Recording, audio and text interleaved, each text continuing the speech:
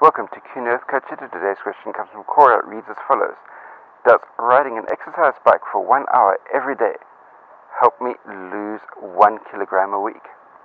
CoachEdu.net. Like and subscribe for more. The truth of the matter there is yes, riding an exercise bike for one hour every single day will help you lose one kilogram a week. It is not the only factor that will make you lose one kilogram a week. If you combine that with a whole food plant based nutrition lifestyle, in other words, eating lots of fresh fruit and fresh vegetables,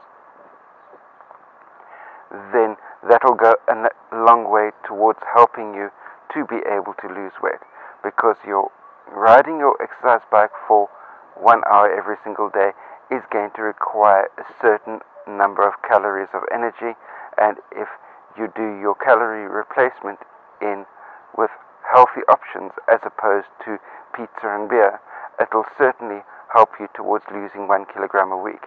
It's not the only factor, but if you combine that with a healthy, nutritious uh, lifestyle as far as your nutrition choices are concerned, that'll go a whole lot further towards helping you lose the one kilogram a week, and it may even get to be more than one kilogram a week. I'm talking from personal experience here, being somebody that has dropped close to 70 kilograms over a uh, 13 month period.